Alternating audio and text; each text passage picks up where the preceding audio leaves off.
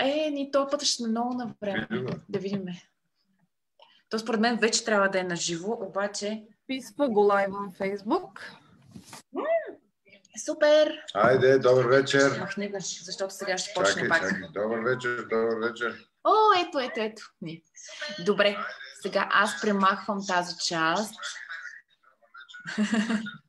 Започва се отново цялата ни, а, цялата ни история, но вече вие знаете, че когато сме на живо, аз проверявам отново за два пъти. Нали знаете, че докато нещата ги... А, ето!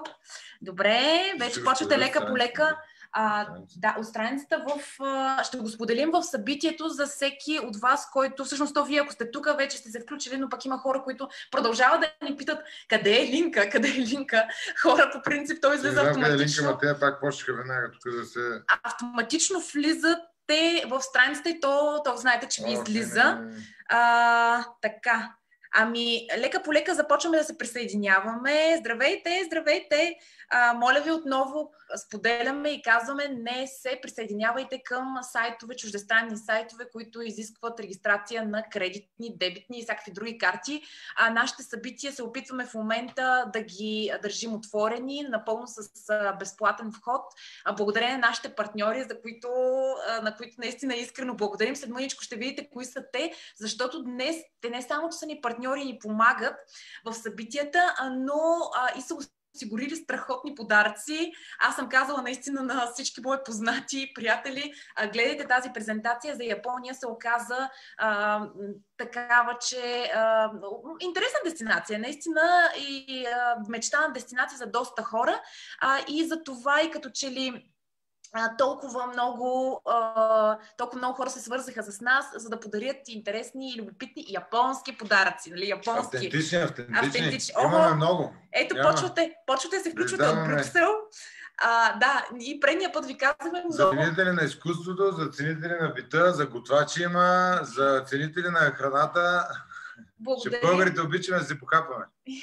благодарим ви много за а, поздравите. Пишете ни. Знаете, че много обичаме да ни изпращате поздрави от цяла България или от а, извън България.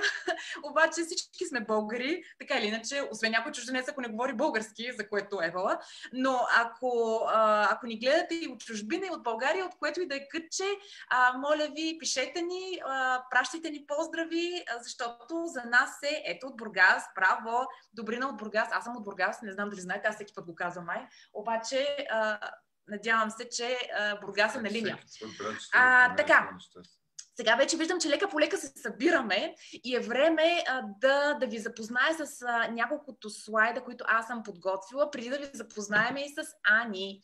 А, сега, секунда само. Аз ще да, играя охрана и ще пазя от натратници. да. Тук мога ли да плащам с криптовалути? А, с крипто е тук вече хората. Тук за други неща с криптовалути. Да. Ето тук сега ще... Всякакви натратници има. така. Симон А. Ахмед, той най-вероятно няма да иска да гледа. Имайте предвид, че предаване. повечето хора, които, а, повечето а, такъв тип а, спам, да го кажем, са чужденци а, и с много странни имена. А, това не сме ние. А, наистина за сега входа е напълно безплатен. Споделяйте нашите а, пътешествия и приключения, защото искаме да достигнат до колкото се може повече хора и да споделим колкото се може повече положителни емоции заедно.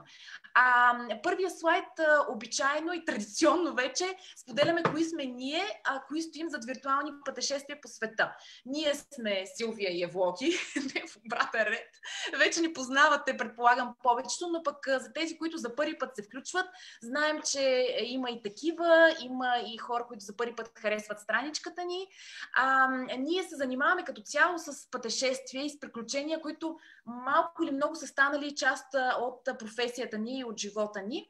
Но аз съм китаист по професия, въпреки че сега тук днес ще говорим за Япония, а, но съм китаист, занимавам се с китайски език и с култура. Скоро е китайската нова година, така че а, малко предварително мога да ви, а, да ви честитя и а, китайската нова година. Ако искате и на китайски, синьен, куайла. О, Чхунзие, Синджин, Куайла. Аз китайски още не съм на тия, ама след още две-три пътешествия до там, може и да го позная. Да, Най-малкото числата поне да разбереш, защото 6 как беше? 6 беше Така, така, шест, шест на 7 е китайски. така. 7. 8, как Ма, аз предния, като говорихме за Китай, Осем. май е достатъчно Това говорихме. малко в България по друг начин го ползваме, нали? Ама... Като пистолет 8. Ами не пистолет, те другите ще ме разберат. 9, 10 изобщо да на китайски. Ама това си е друга тема. Някой път пак ще ви разкажа за Китай. Имах едно виртуално пътешествие до Китай. Някой път пак ще ви разкажем за Китай а, и, а, и ще ви разказвам и други любопитни неща. Сега тук сме събрали за Япония. Та, аз съм човека с китайски язик и а, може да разгледате моята страничка във Facebook, а, вебсайта. Изобщо, ако нещо ви е интересно с китайски, аз публикувам любопитни неща, а, свързани с Китай. А пък човека, който е малко по-професионално свързан с пътуванията и приключенията, е влоги. То стана по неволя. По неволя, смисъл така по съдба, по призвание стана. Но общо взето занимавам с организация на такива интересни пътешествия, приключения, по-предизвикателни, където малко да се изпотиш, някой път и кръв може да пуснеш, а, кал да се напръскаш с кал, нали, знае човек, по целия свят с различни така занимания. Активности. Да, активности. А, и така, с две думи. Вие сте гледали вече, не- да, вие сте гледали вече някои от нашите пътешествия. А да, вече за- ще играя малко и готвач. От време на време ще бягам лещата да оправя, защото трябва и да се хапва нещо, не може. Неделя вечер. Така е, неделя вечер. А, та, това сме ние. А ние обичаме в всяко едно пътешествие, освен да ви запознаваме с ам, приключенията, с историите. Знаете, че тук сме се събрали не да бъдем екскурзоводи, ние не сме професионални. Тоест аз съм професионален екскурзовод, обаче само за България и то на китайски. Но на другите, а, на другите пътешествия не сме професионални екскурзоводи. Нашите презентатори също не са екскурзоводи. Моля ви, не ги питайте коя година е строен, строена или си коя сграда. А, може да го знаят, но не е задължително, а, защото тук идеята ни наистина е по-скоро ам, да, а, да бъдат ам, истински истории, т.е. да се преживееме ам, а, самото пътешествие с човека от среща, да ни покаже снимки, да ни покаже видеа, каквото е подготвил. Ние даваме пълна свобода на нашите презентатори, а, така че подкрепяйте ги. А, наистина те не са професионалисти в това отношение, те с най-чисто и добро сърце са, се, са, са дошли тук, без да им плащаме, без нищо, а, за да споделят техните истории, защото ние обичаме да споделяме. Пък някакси ни е и по-приятно, когато се споделиме положителните емоции, особено в това време. Та, да се върна на нещо, което е много важно. Giveaway, пак казвам тази българска дума, или как да участвате в нашата игра. Наш, нашата игра е следната. На края на презентацията, идеята разбира се, да можем съсредоточено да гледаме колкото се може презентацията. На края на презентацията, а, нашия презентатор, в дадения случай Ани, ще, а, ще ни зададе един въпрос. Какво трябва да направите, за да участвате? Първо да споделите видеото, т.е. това лайв видео, има един бутон Share, знаете как. Разбира се, отново идеята ни е да достигне доколкото се може повече хора тази история а, и те да се преживеят а, едно пътешествие до Япония. Значи споделяте лайв видеото, първа стъпка и втората стъпка е в коментар отдолу под лайв видеото а, да отговорите да отговорите на въпроса, който Ани ще ни зададе и ние не знаем какъв ще е, нещо свързано с презентацията. И третото е да спечелите наградата. И без да се, без така да влизаме в твърде много вече лаконични разговори, три награди имаме този, И то този големи, път. то големи. Вие вече виждате.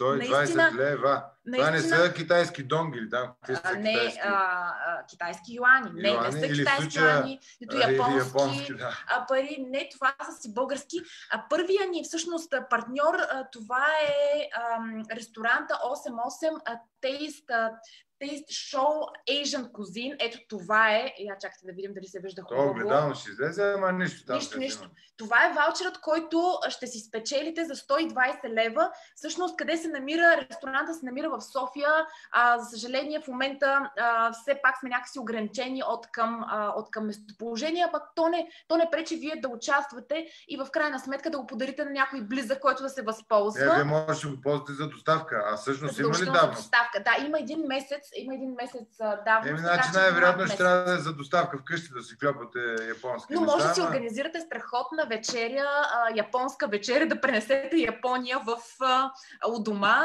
И аз мисля, че това е наистина невероятен подарък. Къде се намира ресторанта? Ресторанта се намира а, в тези големите, т.е. новия хотел Гранд Милениум на Витуша, на булевард Витуша. И в момента работи главно с доставки. А, страхотни азиатски ястия, избрани азиатски азиатски много японски, китайски, филипински, доколкото знам.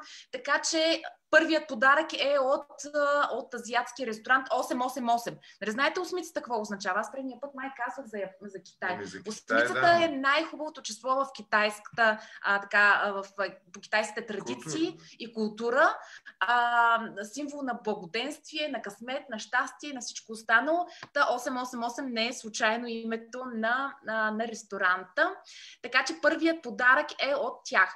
Вторият, вторият подарък, искаш ли ти да кажеш няколко неща за вторият ми Втория подарък? подарък, те всъщност са няколко стъпки или как да кажа, няколко неща. Едното е абсолютно автентичен, директен внос от Япония, истински японски мастер шеф, шеф мастер нож. Шеф, да, шефски нож, точка, японски Не съм нож. аз до така степен запознат с готвенето, не лещичка, такива неща мога да направя, но с този нощ трябва да сте внимателни и към него има закачлив подарък а, от а, така подобна фирма лепенки, т.е. ако се порежете, защото е много остър.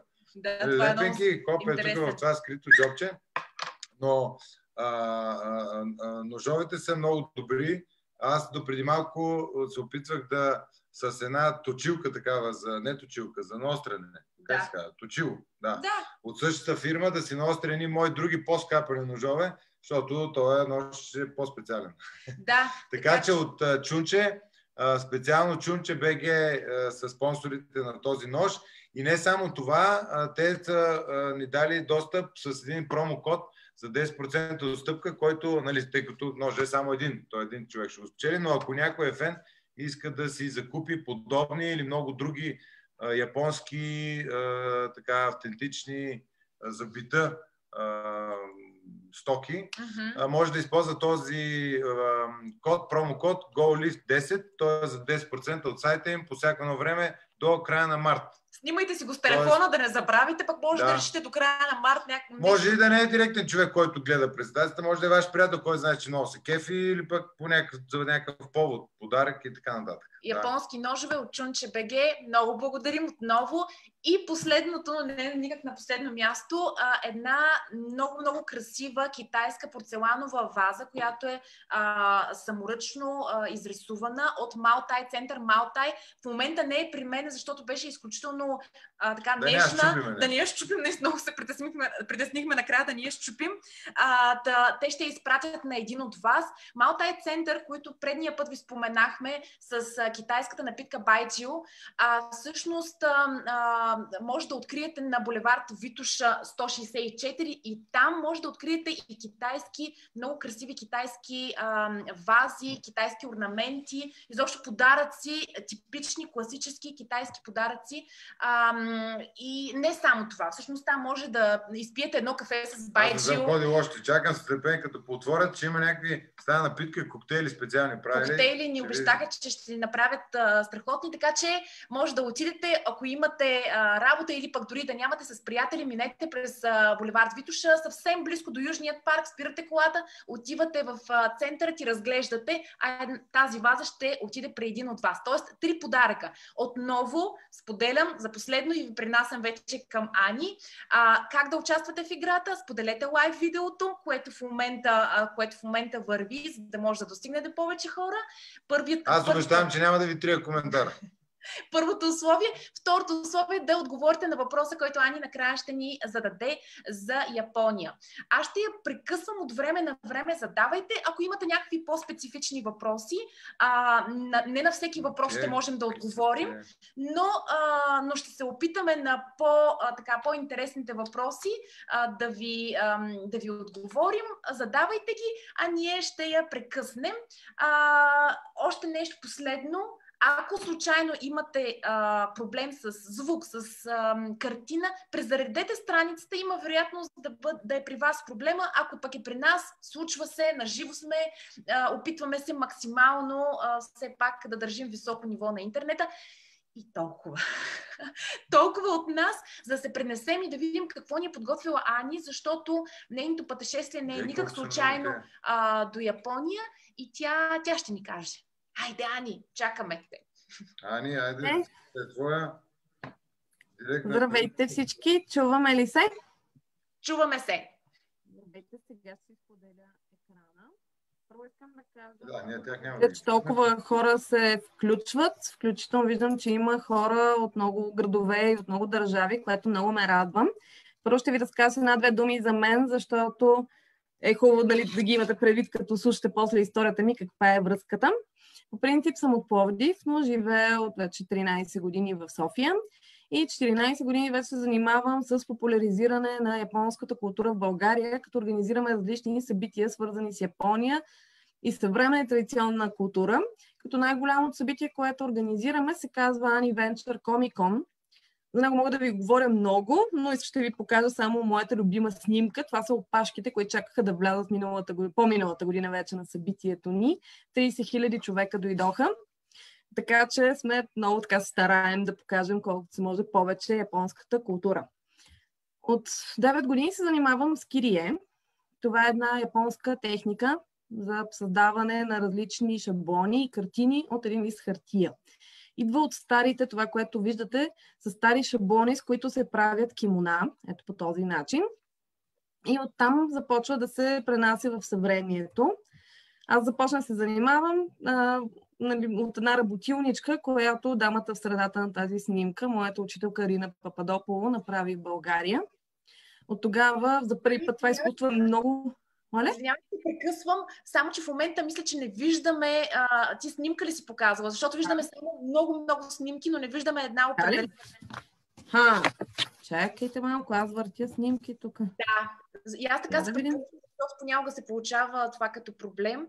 А, ако искаш сподели си десктопа, тогава мисля, че ще стане по-лесно, за да не влизаме от една в друга. Е, да. пише, хората е на японски. Още как не. става ли? Виждате ли сега? Ха, окей, това е интересен проблем. Преди малко го нямаше, нали? Да, може да пробваш, ако искаш в десктопа. Наживо сме, така че мисля, че всеки ще ни разбере. За секунда. Да. Така, ето, успях. Така, здравейте, това съм аз. не, пак не ме виждате. Пак не виждате екрана, нали? Добре сега. Ха, ето го. Добре. Става. Сега виждате?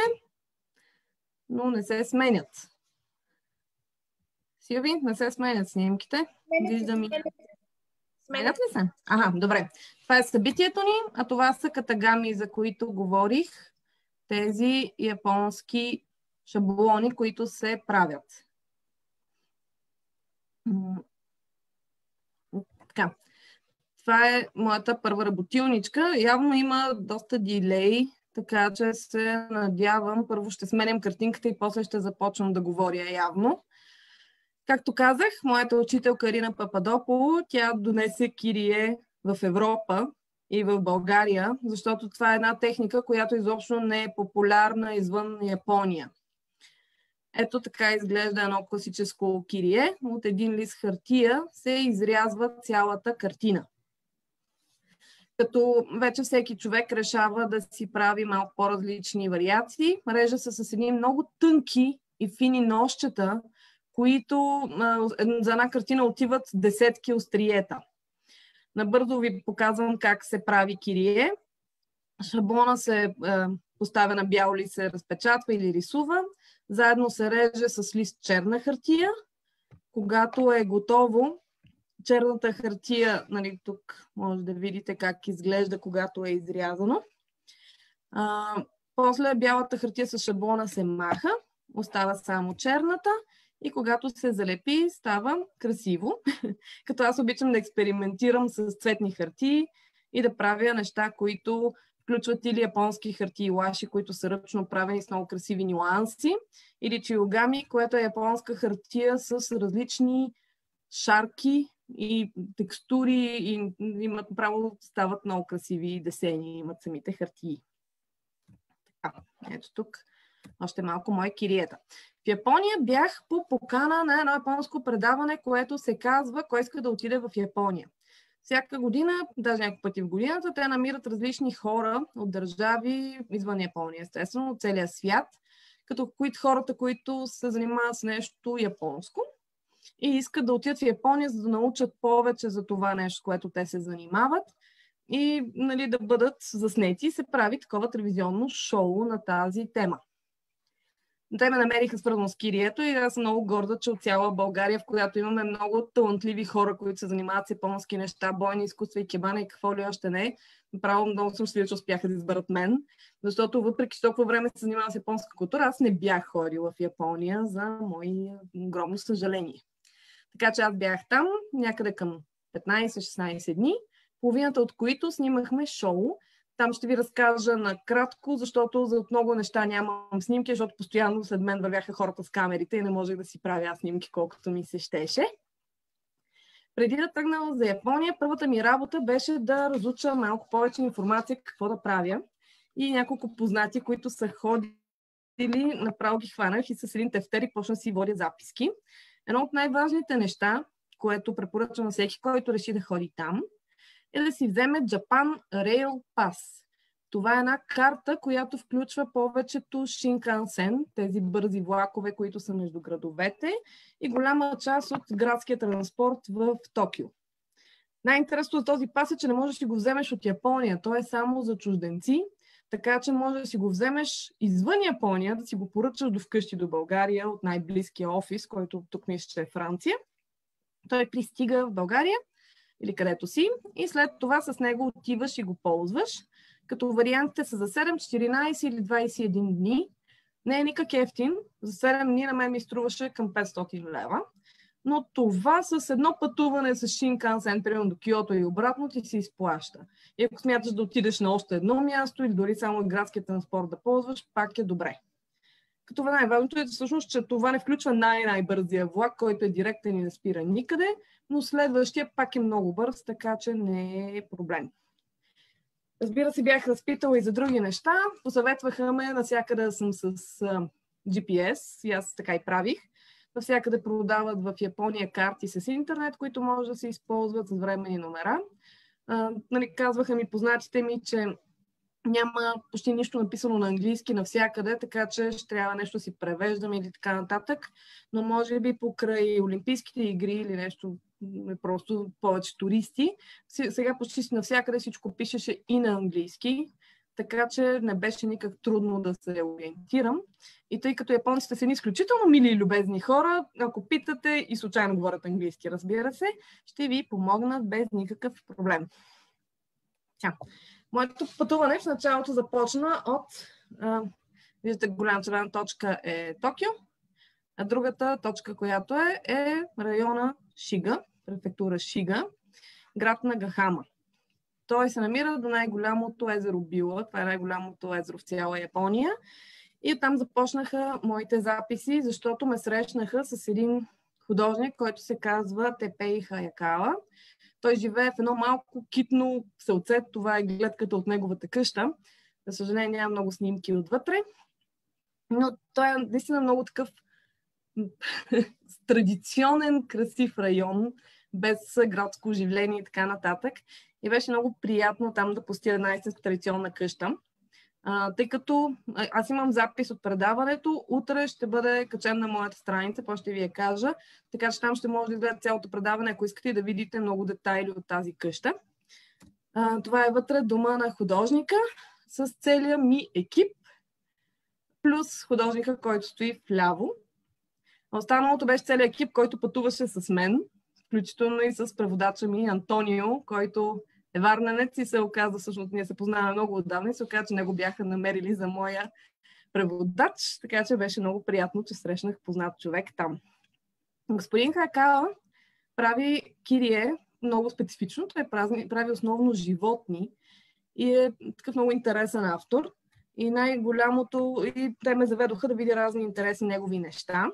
По пътя към там бяхме в едно малко градче, а, нали, в Нагахама има като малко такова районче, старо останало, нали, защото Нагахама си е с много съвременно строителство, индустриален там вид, но има една стара част, която е много красива и това не е много популярно място за туристи като цяло и почти нямаше хора, но беше пълно с много красиви неща. На всичкото отгоре аз, това беше важно да кажа, може би от начало още, аз бях в началото на карантината миналата година. Аз заминах за Япония на 8 март, пет дни преди да се обяви националната карантина в България и в други държави.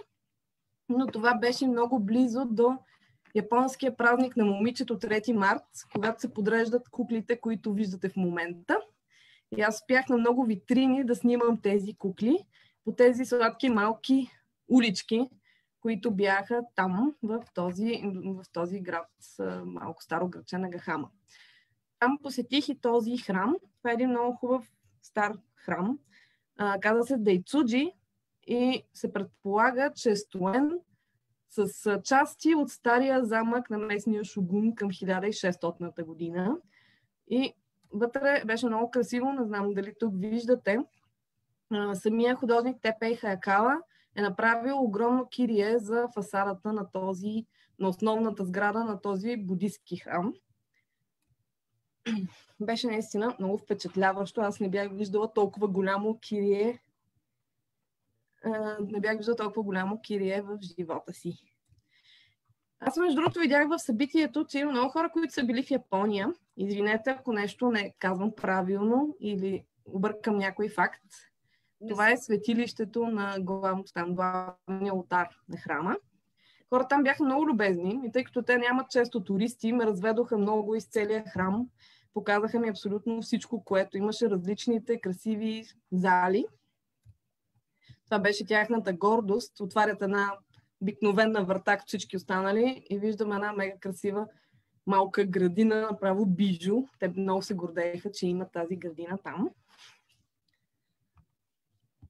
Тук още снимки от храма, защото аз бях много впечатлена, толкова снимки и картини съм виждала такива храмове и най-накрая бях на живо там. Тук пак част от екипа ми бяхме на едно много готино място. Аз много спреснях, че няма да мога да качвам никакви снимки от Япония по време на снимките, но е такива неща, като дори обикновената вечеря, бяха много готини. Мислех, че много неща в Япония няма да мога да ям, но се оказа всъщност, че храната беше изключително вкусна и много интересна. А това е един ресторант, в който си, когато всички влязат, си събуват обувките, за да седнат да ядат. Имаше много интересни истории. Той Хакала сам ме води, нали, художника на различни интересни места. Води ме в планината, където навсякъде имаше маймуни. Аз не бях свикнала, но в гората просто е така, както тук има птици и катерици, там има огромни маймуни. И много беше интересно точно покрай този язовир, като минаваме, изведнъж целият ми екип покрай мен, после говорят нещо на японски и започва да се смеят. И аз нали, питам преводача какво става, нали, какво е. И той казва, ми видяхме една табелка, на която пише внимавайте мечка. И аз нали ха-ха, нали, внимавайте мечка. И на следващия завой на пътя, пред нас на пътя има мечка. Естествено, тя мечка малко се стресна от нас, избяга и нашия оператор веднага тръгна да я гони, за да я снима.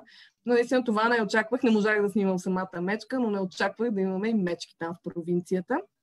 Но се оказа, че това е нещо много нормално в този район. А, когато бяхме в храма, те ме поканиха да направя кирие, което да сложим в храма.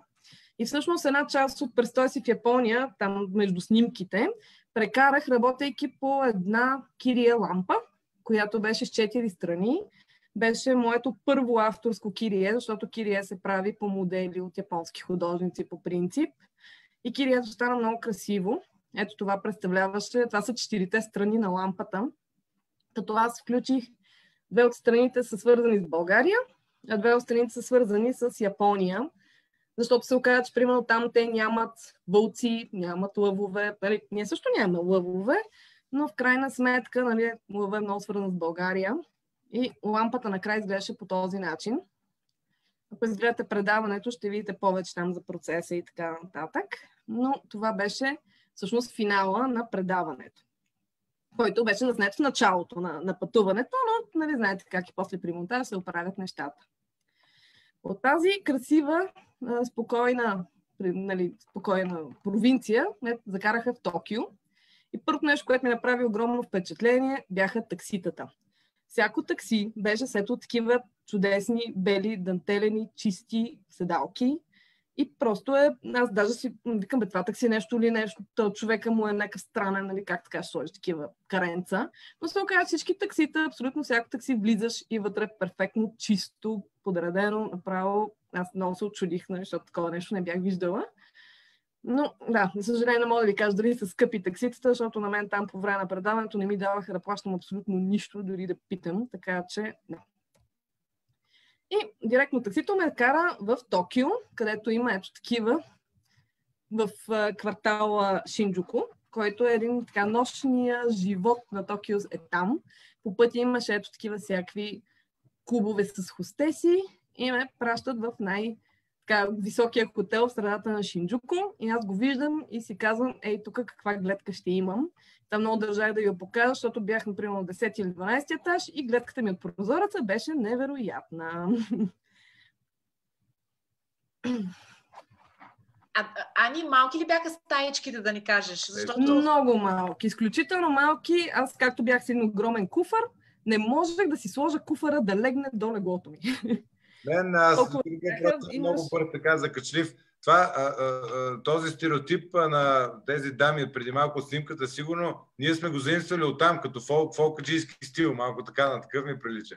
Ами, това е малко, това е много интересно. Това там има такива хост клубове, в които тези дами, ти си ги купуваш, примерно, алкохол и те идват и ти правят компания. Защото някои японци имат много големи проблеми с общуването и така те се чувстват по-пълноценни, като дамите си говорят с тях, обръщат им внимание, няма никакви нали, нецензурни истории, те просто стоят в залата там и си говорят на сепаретата, пият заедно, нали, дамите се интересуват от живота на тези господа, които отиват при тях, но там са едни от най-красивите японки са по тези хост клубове.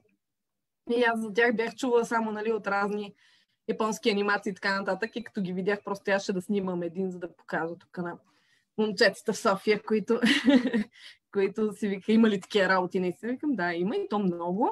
А някои даже стоят отпред дамите и те канят да влезеш, нали, ако искаш. Това е Шинджуко. Много хора, много светлини, много шумотевица, много лудница и беше направо малък културен шок от тихата провинция, от малкото хубаво селце, директно тук в тая лудница, дето навсякъде ти викат, навсякъде те канят да влезеш.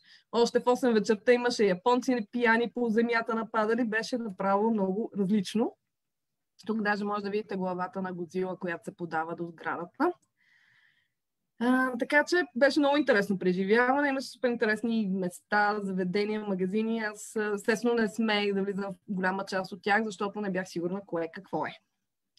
Докато бях там, ме срещнаха с още много интересни кирия художници. Това, примерно, е ателието на Риса Фукуи. Тя е една от най-известните кирия художнички в Япония, защото е правила много етикети на различни напитки, на вина и е работила по кориците на албумите на една много известна японска певица, на, на Кашима Мика, ако някой гледа японски анимации, е гледал анимето Нана, в игралния филм Мика играе Нана. И това е едно, наистина много известно. Това вече е доста старо, да така че много хора са го гледали. Японска драма. И тази дама е работила с една от най-известните японски изпълнителки. За мен беше много интересно, защото тези хора влагат наистина много в своето творчество. Примерно на нея бяха възложили да прави книжка за едни бръмбари. И тя место нали, да намери в интернет картинка как се рисува този бръмбър, тя си намерила ларви. И две години гледала тези ларви, докато растат и станат хубави бръмбари. И през цялото време ги е рисувала, за да може да ги наблюдава. И аз даже ги намерих. Те в някакъв момент нали, са измрели горките и си ги държеше в едни кутии. И аз разпитах какви сте бръмбари, затова разнаучих тази история. Но просто такъв, такова всеотдайно изследване на материята, мисля, че само японци могат да го правят. Срещнах се с още една интересна дама, Масайо Фукуда, която е известна в целия свят със своите кириета. Те са много красиви и много детайлни. Това е безумно детайлно, дето аз не мисля, че мога да направя толкова детайлни неща. Но в различни американски сайтове и такива като Board Panda и други, често се пускат нейните неща. И беше много интересно, защото тя, това е моята, може би, най-красива, ако вие виждате снимката с момичето с цветята. Това е една моя много любима картина. само че тя се оказа много по-малка, отколкото очаквах. И при нас не мисля, че някога бих успяла да изрежа такова нещо. Но тази дама изобщо не очакваше, че тя е известна извън Япония. Аз даже показах някакви постове, тя беше много право в шока, ма как така някой знае за мен, което беше много интересно. Друга част от пътуването ми ме заведе в Фукушима. Това е града, в който беше експлозията преди няколко години на там, я, нали, атомната експлозия. И този район в момента се възстановява. Тук на снимката е горе в дясно жълтата точка е Фукушима. Там посетих един много интересен храм и за него ще ви разкажа малко повече, защото в шоуто, което излъчиха, не го бяха включили изобщо с освен една снимка в края, а беше много интересно място. В този храм местния свет, там, той се води като там свещено служител. Той правеше, да може да видите тук с мен ме има на много малко от снимките, защото през повечето време бях сама и снимах аз, но тук може да ме видите за мащаб спрямо гигантските камъни на входа на този храм. Човекът, който живее в тази къща, прави килие, което е друг вид, много старо. Това са едни украси, които са горе-долу като нашите наричания. Ти си пожелаваш през новата година там да имаш благоденствие, щастие, здраве и така нататък. И за това се режат едни такива хартиени пожелания и се окачват на определено място в дома за коледа. След което, като мине там, не точно коледа, ми техните се там празненства в края на годината. След което тези неща се изгарят и на следващата година се правят нови. И той ми разказа много за тази техника на тези украси. И ми казаха, ела да доведем, тук, тук сме в дома им. Имаха това е много готино нещо. Аз се влюбих в това нещо, особено както бяхме март месец и още беше студено. Под тази масичка има дупка в пода и там има печка. Така че влизат, мускаш си краката отдолу и печката ти топли и цялото семейство се събира около тази масичка. В момента се опитвам да сетя как се казваше, но не мога да се... Котацу. Котацу се казва тази масичка. И вече на много малко места има такива, но там имаше, тя цялата къща беше много стара и много красива. До неговата къща беше този храм, това светилище. И нали, изглежда малка невзрачна сградичка. И когато влезеш вътре, виждаш ултара и много японски жерави, наредени на така нанизи. И аз се загледах, нали, викам, много жерави, браво, нали, вау, тук има толкова жерави, не знам дали знаете за японската история, той е като легенда, че ако някой направи хиляда жерави и си мисли за някакво много така силно желание негово, то ще се сбъдне, ако се направят хиляда жерава. И аз влизам и си казвам, вау, нали, тук вижте колко много жерави има, тук има повече от хиляда жерава. И така приближи се до ултара и аз се приближавам и се оказа, че зад ултара има още хиляди жерави. Ама хиляди. Големи, малки, всякакви. Това беше направо невероятно. Аз не можех да повярвам колко са много просто. Тук може да ми видите пак Ани за мащаб. И се оказа, че бащата на този свещенослужител, който беше на 96, ние се запознахме с него, той цял живот, откак се е върнал от Втората световна война, е започнал да прави тези жерави. И през целия си живот той ги прави и тук имаше над 300 хиляди жерава което е направо безумно. И той даже продължава. Продължава даже докато си говореше, нали, докато му превеждаха и си говореше с нас, той продължаваше да сгъва жеравчета. Има всякакви от такива от хартийки, от цигари, от тия фолият, старите цигари, които имаха. Имаше всякакви абсолютно и това беше толкова невероятно. Аз даже никъде не съм успяла да ги снимам всичките и ми стана много тъжно, че не го включиха това в предаването, защото си я служаваше да си види. Имаше един тъжен момент в цялото предаване, поне за мен, и се радвам, че това също не беше включено. Когато заминавахме, питаха кой искам да срещна.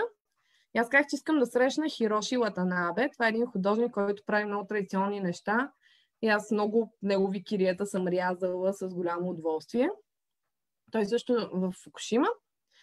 И бяха специално за мен подредили цяла огромна изложба с негови неща на един колекционер, който е купувал много негови картини. И се оказа, че въпросният художник е умрял преди 3 или 4 години. което на мен никой не ми го беше казал.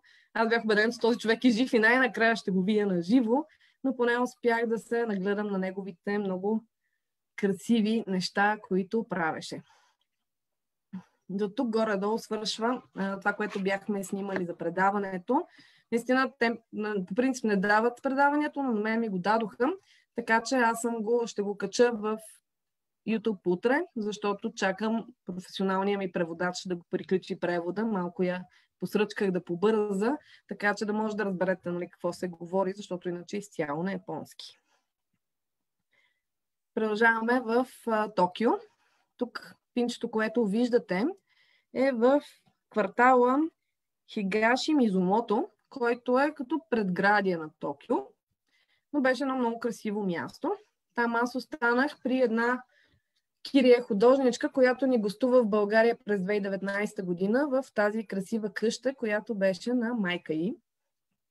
Тя ме не стани там. Нейната къща е в съседство и в къщата има галерия за кирия изложби. Тя даже покани мен и другите колеги кирия художници от България да участваме в изложбите. И през цялата 2020 година сме участвали вече в няколко изложби. Ще ви покажа няколко снимки от красивата и къща. Аз много се зарадвах, че има такива къщи с такива красиви неща в тях все още там. Имаше кукли, имаше, аз много се зарадвах на къта за чайна церемония. Не ми направиха чайна церемония, но аз толкова бях благодарна, че ме приютиха за тази една седмица след предаването, че не исках да питам за нищо повече, защото съм сигурна, че тяха да ми угодят. този квартал се намираше този много красив храм. Това се казва Нанзоин. И за съжаление намерих много малко информация за него в интернет, включително исках да го тагна къде съм била след това в Фейсбук и не ми го намираше като локация. Но той е много красив, пак буддийски храм. И наснимах много от нещата, които са вътре, защото си заслужава да се видят. Това е основното светилище, като в ляво виждате едно бежевикаво нещо, като копа, бъзли, това се оказа, че е нещо само специфично за този храм, което е едно божество с плетена, то е каменно, статуя, с плетена шапка и върху него се връзват въжета и като връзваш си пожелаваш нещо. Това е Кирие на една японска художничка от този квартал същия, която е нарисувала тази статуя. И там такова е, нали, плаща, оставяш парички на едно място, взимаш си въже, молиш се за нещо и връзваш въжето около тази статуя. Както виждате, тя имаше много въжета. Това е детайл от сградата, който много ме впечатли с колко е фин. Имаше още такива много фигури. Това е хубавата камбана, която беше там. А това е един магазин, който аз посетих за арт материали. Като цяло не ми даваха много да харча пари там и не съм харчила много пари там, но в този магазин, който беше с размерите на нашите големи такива строителни хипермаркети, мисля, че оставих към... Много пари оставих. Към, не знам, 1700 лева, примерно. Едва си ги донесох нещата от там, но това беше най-големия ми разход и сувенири, разбира се. Снимах и това. Това са нещо друго много специфично за Япония. Да? Какво си купи за 1700 лева? Просто ти е любимо. Това са материали за кирието, за, за, за Да, хартия. Основно хартия. да, хартия. Защото е много... Само... Например, такива в България няма или смисъл, не, да, това са хартии, които ги има само в Япония. Аз по-нататък съм снимала в един друг магазин такива хартии. Всичките тези хартии, които аз ползвам за кирие, с десените, с нюансите, такива неща няма в България. Също така и ножовете, които използваме, са от Япония. И ние винаги молим някой, като се връща от Япония, да ни носи, защото острията наистина много бързо свършват, особено ако правим работилнички, където хората още не са свикнали с натиска на ножа и се чупят стотици. Това, това и за това... Като макетно нож, аз така си го представям, нали? Много... Да, опа. Чакайте малко, нещо стана. Или може Я да видим, спря ми се шерването. Сега ще шернем пак.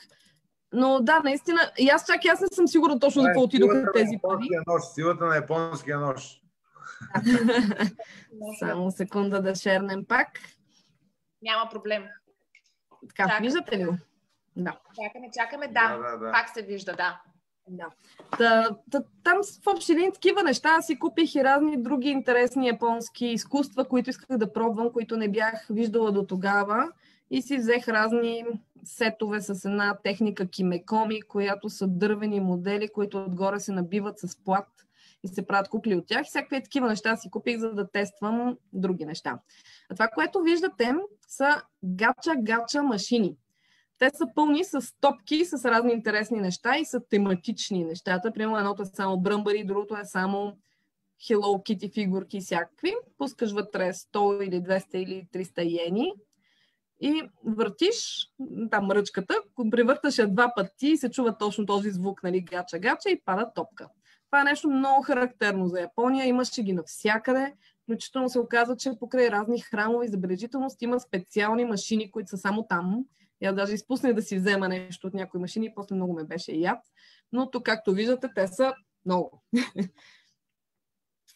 така, това е в галерията на Маяно Сан. Маяно Сан е дамата с синьото яке, а другото са някои от художниците, които творят при нея по изложбите, така че се запознах и с други кирие художници, които се надявам някой да доведа в България и те да направят изложба тук.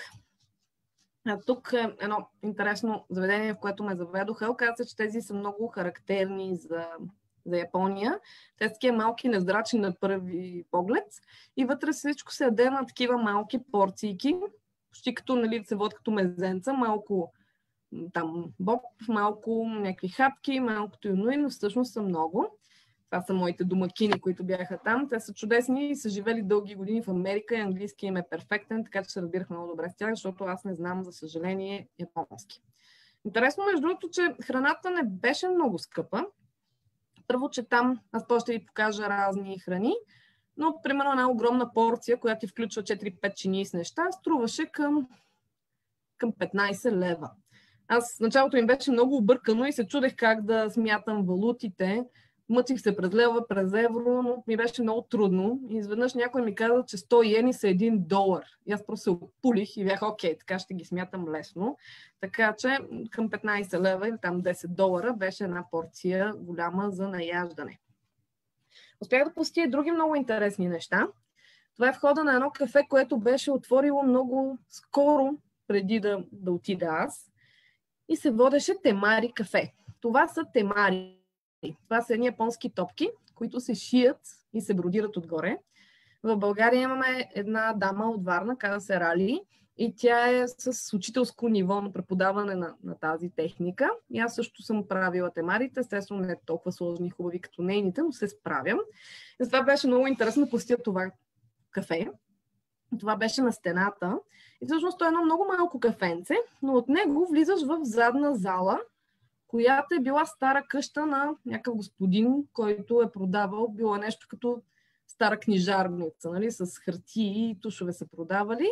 И те са взели тази къща и се направили на място, в което да се учат хората да правят темари и да си купуват темарите. Това бяха много красиви, огромни темарите, които видях там. Продаваха се. И беше много интересно тези двете, които виждате в момента се оказа, че когато са взели къщата и са започнали да я ремонтират, са намерили на човека някаква малка котия с писма от неговата любима, докато той се е бил в някоя от войните. Тя му е изпратила писмо и тези двете марита, които е направила тя, за да му носят късмет, докато е на война. И те хората много са толкова са въодушевили, не те правят темари кафе и намират темарите там, нали не са намерили други, кой знае какви неща, но си ги пазаха много и си ги ценяха. И за мен това беше много интересно, защото отиваш на много темари кафе и намираш някакви такива невероятни истории. Както и ония храм с толкова жерави. Никога не е просто е така просто храм, просто такова. Винаги има нещо, което направо да ти каже, да си кажеш вау от цялата работа. Продаваха и такива обети, темари, много манички. И другото много интересно е, че се оказа, че това кафе е изцяло благотворително. В... Те продаваха кафе, което се произвежда в Лаос. И има много жени в Лаос, които са инвалиди и не могат да се движат. И те са ги хванали и са ги научили да правят темари. И всъщност всички темарите, които се продаваха там, бяха правени от тях. И парите после отиваха за благотворителност да помагат на тези хора да се справят с живота, което ми се видя направо велико. И те ми подариха естествено едни обици. Имам аз един въпрос такъв малко практичен. Ти тук си вече след предаването, т.е. ти си самичка, нали така? Да, през повечето време бях или самичка, или с някой от хората, тези Маяно Сан, при която живеех, или една друга позната, която се видях с нея за малко. И тук въпросът ми е как се разбрава толкова любопитни и интересни неща, защото ние също, ние прямо се влоги, двамата сме били в Япония по различно време и толкова нали, в детайлите ще ни кажеш и още, разбира се, интересни неща. Откъде ги научаваш? Имаш предварително ли гледаш или пък те ти разказват хората? Предразполагаш ги явно да ти разкажат такива интересни неща. Ами, по принцип, аз си бях набелязала много неща, които искам да видя. И като отидох там, нали, тъй като беше криза, се оказа, че повечето неща, които искам да видя, са затворени. Нито музеи може да видя, нито разни атракции, но пък по един или друг начин намерих интересни неща. Примерно за това Темари кафе разбрах напълно случайно, защото когато показвах в галерията на Маяно Сан на другите художници моите кириета, имаше едно кирие, на което бях изрязала такива темарита. Ще са много шарени, като го направиш на кирие, стои много хубаво. И тя каза, а, ма ти знаеш ли, че тук има едно такова кафе, що ми ти е интересно това, идете. И те и домакините ми не го знаеха, но просто някой го беше видял по някаква новина или някъде му беше попаднало. Те го намериха и ме заведоха там, там бях с домакините ми тъй като, за съжаление, хората от кафенето не говореха английски. И това всичко се случи с превод през моите там домакини, но успяхме това конкретно, нали, го посетих заедно с тях. Други места посетих сама. Ще, някои нали, ги видяхте вече, някои сега ще ги видите те първа. Но нали, за някои наистина е трудно да, да намериш информация. Първоначално най-интересните неща, места се намират случайно. Надявам се някои от тези, които аз ви покажа, да ви станат интересни, когато ходите вие и нали, нашите гости а, пред екраните, като ходите в Япония, да отидете на тези места, защото наистина много си служава да се видят. Продължаваме на там. Или? Други въпроси? Имаме още един въпрос и може след това да, да продължиш нататък. А, къде в България, ти може би в края ще го кажеш, но просто тук все пак, докато не сме забравили и продължаваме с историите, къде в България по принцип може да видим Кирие, това изкуство? Всяка година в цяла България се провежда Дни на японската култура през есента. Сега се борим да направим и пролетни, може би до месец ще стане ясно дали ще има пролетни. Всяка година правим изложба годишна на всичките членове на асоциацията по Кирие. И през годината правим много работилнички, участваме в други събития. На това моят събитие Ани Венчър има една част, която се води традиционна японска зона. Там също правим изложби работилнички. Но за най-сигурно, нали, аз накрая ще си дам а, линка към моята фейсбук страница, когато има някакви активности, аз ги споделям там така че хората могат да следят и да научават кога има нещо, защото няма нищо, което да се случва редовно, примерно всеки месец.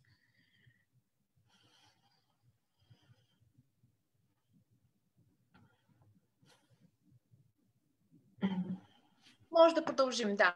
Ако има нещо въпрос. Да, Един ден се разхождах с една друга много чудесна дама тази дама се казва Наоко Каваяши. Тя е художник съвременно изкуство, прави инсталации с цветенца, цветчета от хартия, които реди на разни поля, много красиви. Преди 7 или 8 години тя беше в България и тогава аз я разведох там. Така че тя каза един ден, докато си в Токио, си с мен.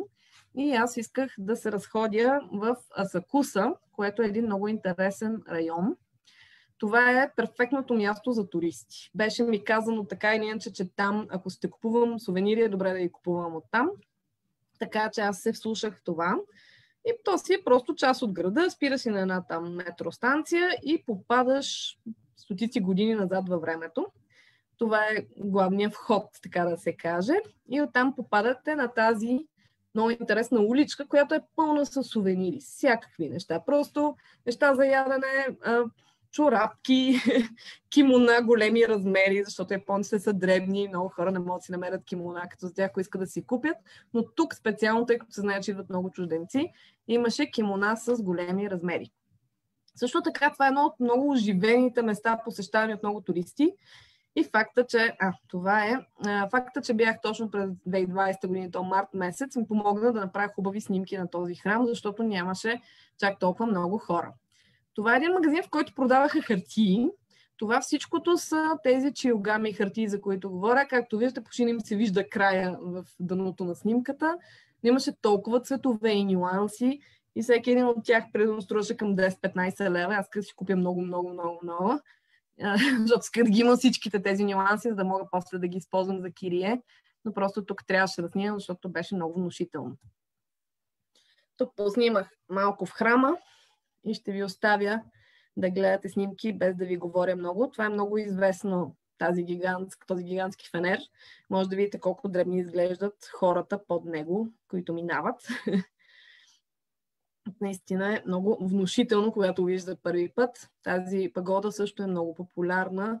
Може голяма част от вас да се е виждали.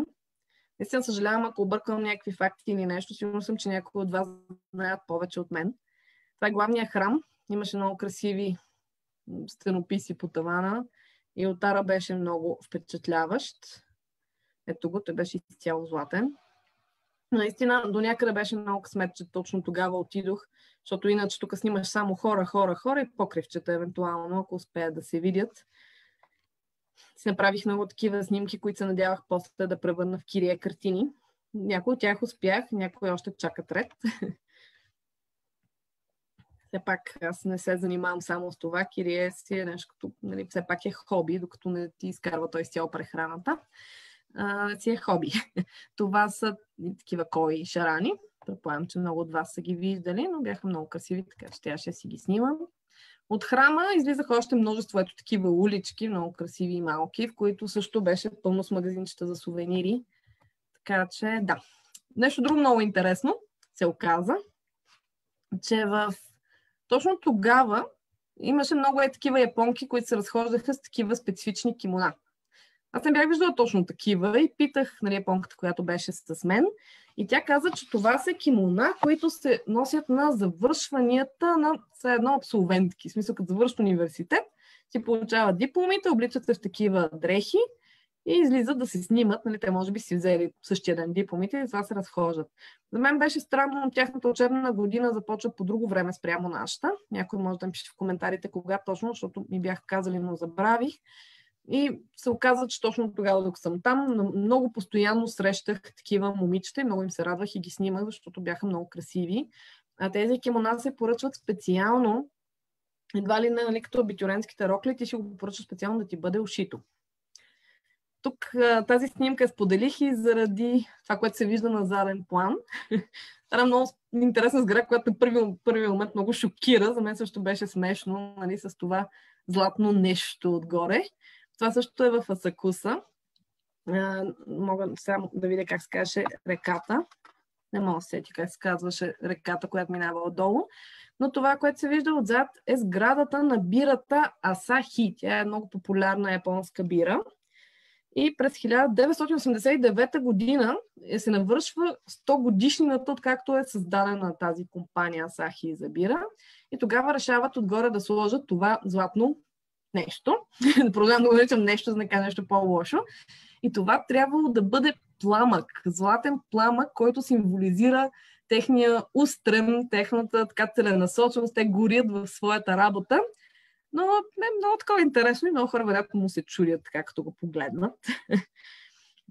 в Асакуса бях и на още едно невероятно, ето ги тук отпред дамите. Много готино се бяха подредили да се снимат така.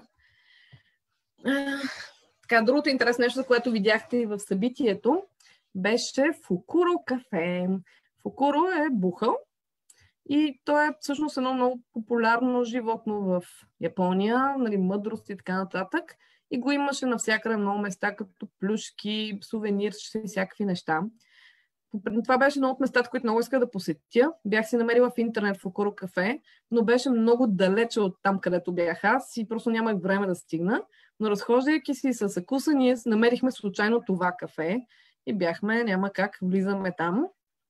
Тук може да видите, че входа е 1300 йени, което е едно 13 долара, което значи към 20 на лева, което при положение, че ти влизаш вътре и стоиш колкото време искаш, и дори имаше включена напитка в посещението, ми се струваше като добра оферта. Нали, в Япония има всякакви кафета. Има кафета с котки, кафета с зайци, кафета с таралещчета. Но тъй като аз имам вкъщи и котка, и таралещче, както видяхте и куче, реших, че искам да видя кафето с бухалите. Първият човек, който ме посрещна, не човек, беше този малък сладур. Нямаше човек на рецепция, нямаше никой, само тази совечка седи и ме гледа, нали? Аз веднага почнах да снимам, естествено. Имаше всякакви сови, беше разрешено да се галят, като Нали, аз, някои разрешават, някои те гледат ето като този господин и просто не посмяваш да ги пипнеш, защото си сигурен, че изядеш някой клюн, ако пробваш. Може и да не е така, но просто някои си личаха, кои не искат да бъдат пипани, но пък можех да ги снимам съвсем спокойно. Бяха много красиви. За първи път бях толкова наблизо до такива готини животни. така че тук ще повъртя малко снимки, само да се порадвате. Тия двамата много ме изкефиха. Този беше капитан на кораба и някакъв подчинен от страни, такъв готов да слуша заповеди. Да, можеха.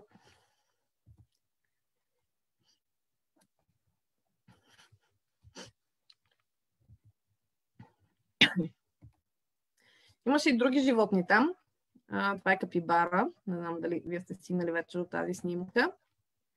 А, имаше маймунки, имаше някой друг папагал, имаше една змия албинос. Но те, да, по принцип можеха да си пипат. Тези двамата бяха много малки. Да. Те са буквално едно юмруче горе-долу, човешки юмрук, толкова бяха големи, бяха толкова сладки, нали, тук не си личи много на снимка, бяха толкова дребни и сладки и някакси почти не тежах, в смисъл, като го им чувствах, като го и почти го бутах, го местех нали, от там от място, където беше застанал. Тук си личи малко колко е дребосъчесто. Имаше и такива сладури. Тях не посмях да ги пипна, честно казано.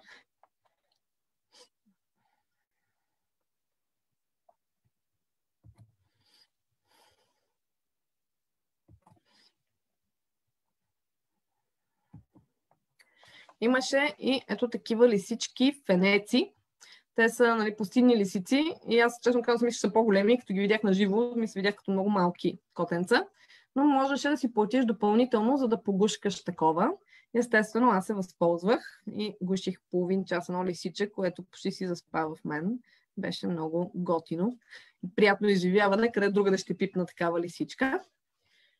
И тук отиваме на едно друго много интересно. Така, рязко се прехвърляме на друго място.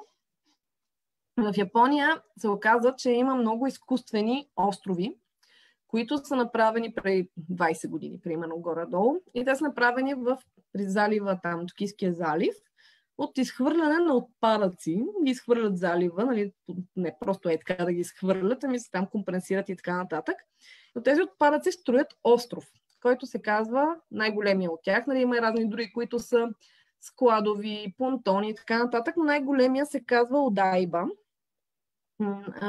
И там всъщност то е много интересно място. Аз наистина очаквах да съм на някакъв понтон едва ли не като отида, но всъщност се оказа нещо много огромно, с много атракции там, така че ако ходите в Япония ви съветвам да отидете, независимо какво ви е интересно, защото примерно там има много, имаше на Panasonic шоурум и Toyota Fun Park, където можеш да влезеш да караш Toyota и да гледаш някакви футуристични модели.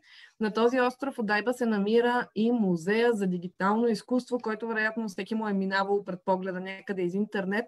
Едни стени и подове, които са всичките екрани, се проектират разни картини и неща. Това също е там. Аз съжалено успях да го видя. Има много хубави паркове и там е най-големия център, изложбен център, където се правят годишните събития за аниме и манга, разни комики. Това също е там. Аз отидах заради този готиния големия зад мен. Това е Gundam робот. Не знам колко от вас са запознати с този франчайз Gundam. Той вече съществува от много години и това са ни роботи от една манга и съответно аниме, като то не е само едно, те има хиляди сериали, хиляди модели и всъщност на този остров, Удайба, пред мола е построен този робот, който е в реален размер като тези от филма. Вътре, нали, по принцип в филмчетата имат човек, който ги управлява. Преди години беше друг модел, но заради годишнината на излизането на този сериал, конкретен от който е този робот, преди две или три години го смениха с този. И той е много готин, защото така изглежда през деня, а по-късно, като почне да се стъмнява, както виждате, се променя, отварят му се разни неща и влиза в боен режим и изглежда по-различно. Той се, този робот стои пред Diver City Tokyo Plaza.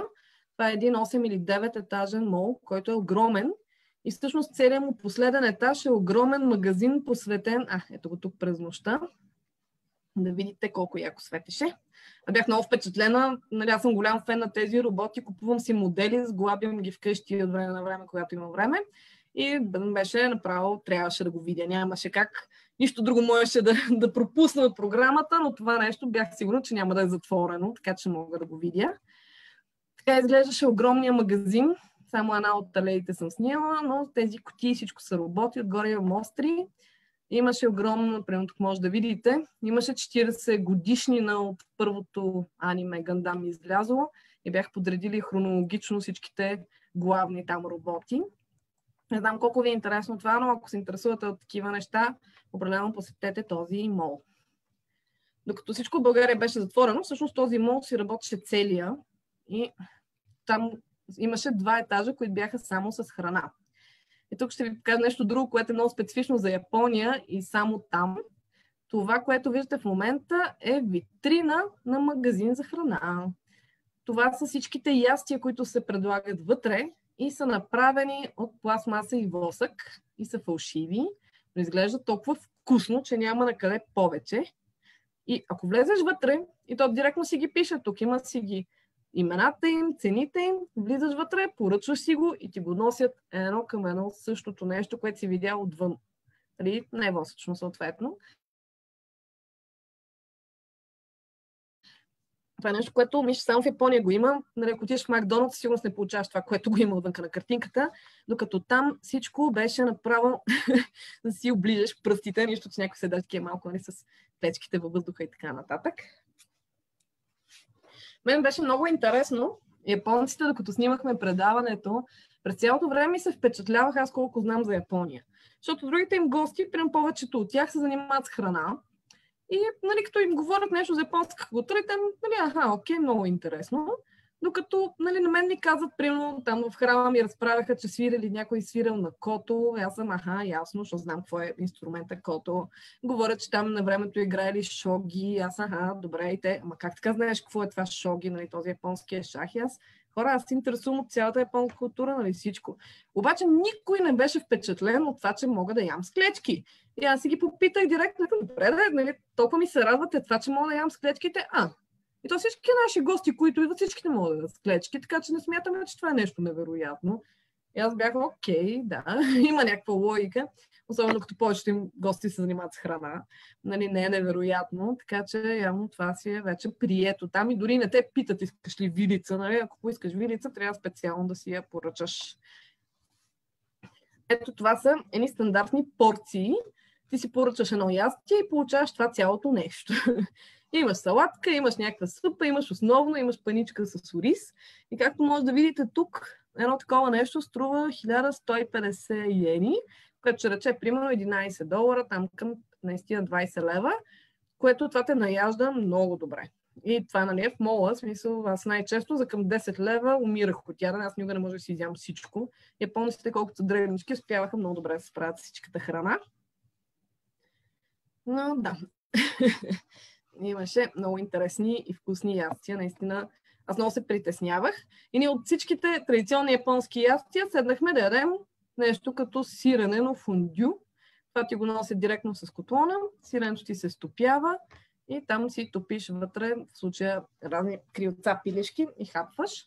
Но там японците наистина, докато тук всичко беше затворено, там овец си работеха. Естествено, японците не са свикнали за тях не е ненормално да носят маски, ако някой е болен. Всичко се случваше много така подредено, културно, няма паники и работи, така че спокойно можеха и заведенията си работят с нали, намалено посещаемост. Имах удоволствието да посетя за един ден Юкохама. Това е град, който почти е станал като част от Токио, нали, с градските влакове се стига до там. Там ме разведе една дама, която не знам колко от вас се чували за нея. Казва се Ирен Ямами. Тя е българка, която е жена за японец и живее там вече много дълго време и е известна с това, че шие български шивици. Тя създаде една книга, която може би сте виждали, България в шивици. Тя се продава в, по книжарниците. И може той всъщност ръководство как да си ушиете този модел. Карта на България с шивици във всеки регион, които са характерни за него. Аз тази жена направо много я боготворях и много се зарадвах, че се запознах с нея, защото всъщност тя е леля на моя приятелка. И носех разни неща от България за нея, включително лукум, защото там такова нещо няма, но японците много харесват лукума. На всички им бях занесла, които ми бяха поръчали, им бях занесла лукум. Бяха много щастливи. И тъ, се видях с нея и тя си отдели целият ден, за да ме разведе из Йокохама. Йокохама е много различно място. Това е било пристанището, откъдето са идвали всички чужденци в Япония. И е, нали, била е първоначално просто пристанище, няма е почти нищо, нали, не е като Токио или Киот, нали, старо място. И в началото там са настанявали, примерно, чуждестранните делегации. Имаше много резиденции на посланици, имаше австрийски, всякакви нали, световни сгради, там си имаха представителства. И всичко там е ново. Както може да видите, всичките сгради изглеждат много нови. Там все едно не си в Япония.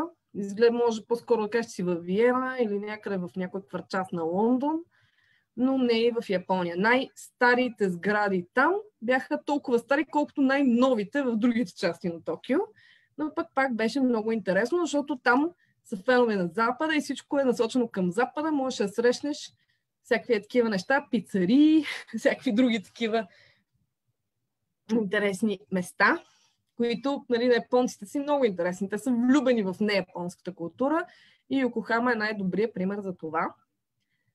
А, това беше новия кораб, който е закотвен, не се движи и е заведение, но не работеше, когато бяхме ние там. Това са типичните офис гради там в Йокохама. И на преден план може да видите техния Луна парк, който е много голям и е изцяло вдъхновен от Европа. Тъй като аз съм имала удоволствието да видя пратера в Виена, тук се бяха опитали да имитират Виена от всякъде. Всичките малки къщички, хубави, имаха си ето такъв Tower Bridge, който имитира лондонския, въпреки че много тя си да имаш въображение, за да кажеш, че си приличат, но все пак се опитваха да го имитират. Имаха си виенско колело. Аз, направо, а за мен нали, японската култура е най-интересна. Нали? Аз съм изкуствовед по образование. Интересувам от се от всякаква култура, но Япония за мен е най-най-най. И като виждам колко японците гледат всичко чуждо, ми е много интересно, но може би всеки харесва това, което няма.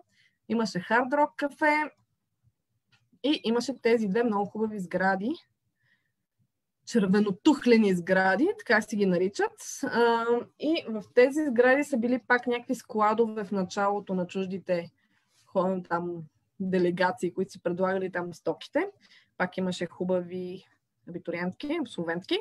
И в пред тези две сгради, които са една срещу друга с огромно правно пространство отпред, празнували всичките западни по-големи празници. Имали Октобърфест, празнуват християнската нали, коледа с елхи, с дядо коледа и с какви ли още не неща. Празнуват нали, тукашния Велик ден с яйцата. И имало адски много хора, които посещавали тия събития, много ги харесвали. За мен беше изключително интересно, защото това е един огромен площад и се пълнел с хора просто, когато се случват тези събития. В Йокохама е и най-големия китайски квартал, най-големия Чайнатаун в света някъде към 300 квадратни километра е и живеят към 4000 човека вътре.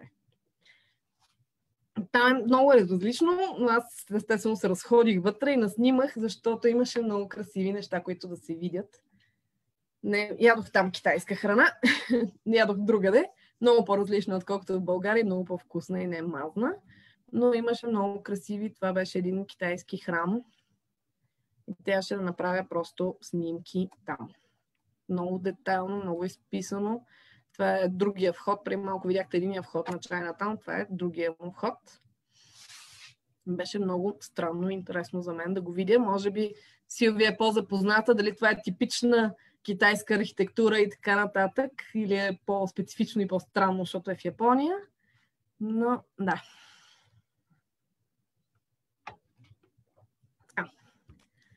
Последната ми спирка, за която ще ви разкажа, защото вече си мина известно време, е Киото. Просто нямаше как да не посетя Киото. Тук може да го видите с лилавата точка в долу ляво. Киото, както знаете, е старата столица на, на Япония. Има много стари храмове и много красиви места. Това е първата снимка, която направих. Излизаш от гарата и виждаш това. И е направо супер.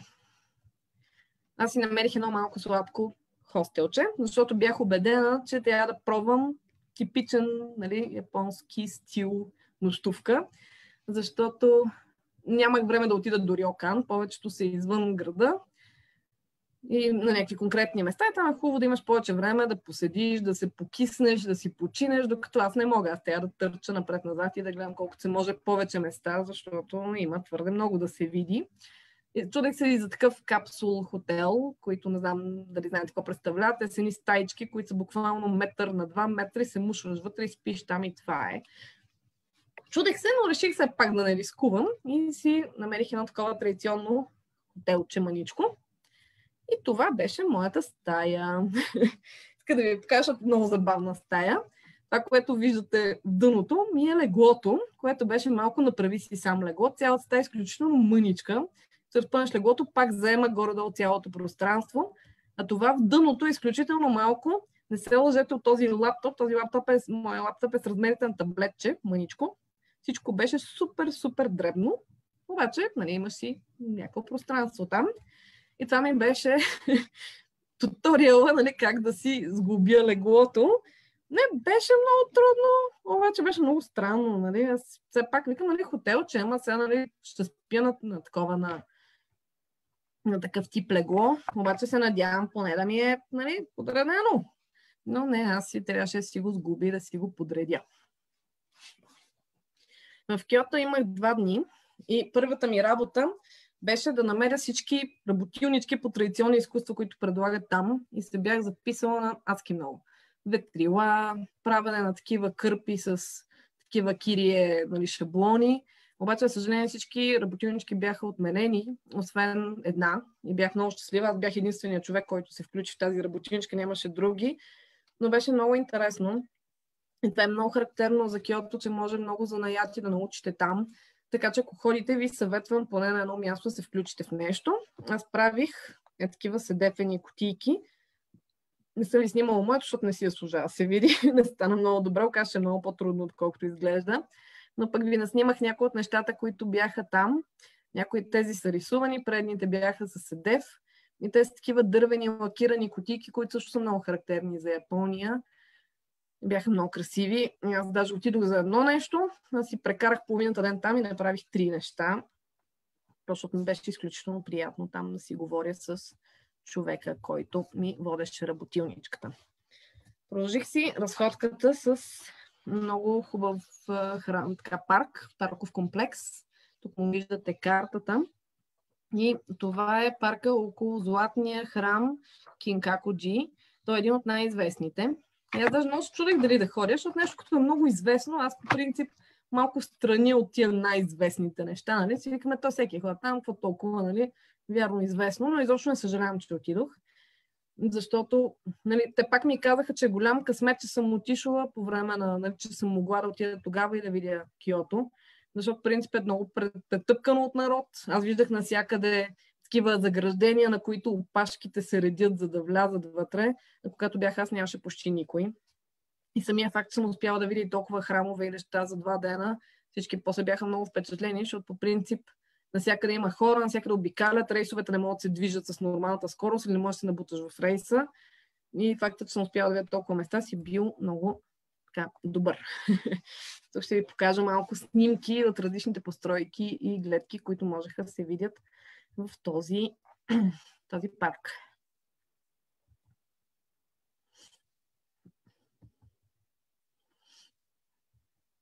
Ето. Самия златен павилион беше много красив. Аз направо не можех да повярвам колко е колко е златен и колко е красив. Тази снимка направо бях много щастлива. То даже, както не знам дали си личи, но заваляваше, когато бях там. Но беше просто много красиво. Те даже, доколкото разбрах, в края на миналата година са използвали времето, че няма много туристи и са сменили златните листове, които са отгоре върху храма, върху павилиона. Така че златото в момента е вероятно още по-блестящо. Колкото разбрах, това е бил дома на местния, не знам дали е бил шогун или подчинен на шогуна. И когато той е починал, са го направили на такова място за посещение. Успях да снимам и камелии. те са едно от цветята, което много обичам да, да режа на кирие. Много са ми красиви, много са ми фини и се оказа, че те, нали, цъфтят точно в началото на годината. Сега точно февруари-март, така че Имаше много нацъфтяли. Гледката от парка беше велика.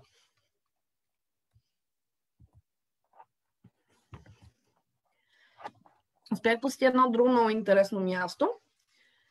Това е една уличка, която е уличка изцяло на разни занаячи и художници.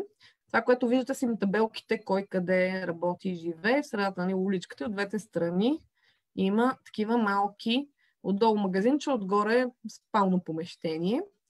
И там си живеят художниците и работят. Аз там отидох да се запозная с една друга кирия художничка, която беше дошла в България по покана на моята учителка при няколко години. И въпреки, че тя е много любима, тогава не успях да се запозная с нея. Така че и писах и успях да се видя с нея. А тази заначистка уличка стана много популярна напоследък защото излезе един японски филм, който се казва Мияко Has come to Kyoto. Нали? Мияко дойде в Киото. И е снимано в тази уличка. Това са кадри от филма. Точно на тази уличка, които реших да ви споделя. И тук е точно как те минават по уличката и дават отвътре от къщичките различните творци. И това първото е художничката, при която бях аз. Съответно, има всякакви занаячи там на тази. Тя е много малка и много скрита и аз не знам дали щях да забележа, ако бях тръгнала просто е така. А това са някои от кирия произведенията на тази дама. Тя прави много интересни неща. Едно от които са ето тези цветя. Съм сигурна какви точно са цветя, дали са някакви хризантеми или какво са, но те са едни много дълги ролки, и тези цветя, които са изрязани, са дълги, примерно по 8 или по 10 метра, като това пак се реже на нали, кириесие, това са дупчици от бяла хартия.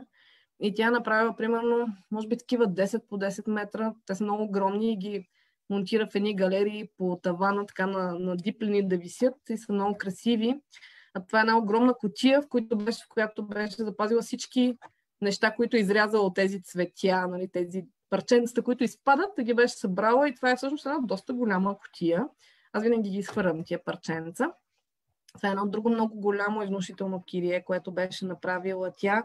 Сигурно се надявам да го виждате колко е красиво, колко е детайлно. Това е безумно много работа. Мисля, че няколко месеца работила само за да направи тази картина. Тъй като вече ставаше тъмно първия ден, докато бях в Киото, аз реших да пробвам да отида до храма, кой храм? Кио Мизодера, защото ми казах, че бил много красив вечер.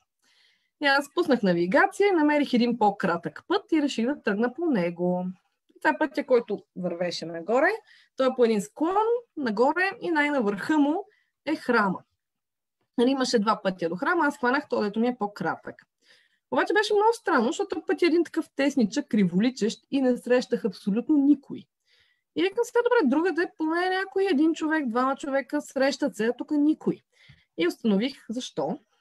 Това е нещо, което няма да видите навсякъде в Япония, но успях да стигна до гробището на Киото. Така изглежда гробището на Киото. Много е странно. това, такива, това не е гроб на един човек, това са семейни гробници на цели родове.